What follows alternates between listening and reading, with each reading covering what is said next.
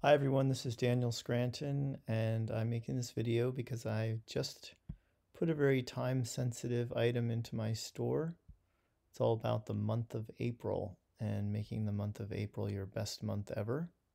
So it's a light language and I channeled it this morning uh, here on April 1st. Oops.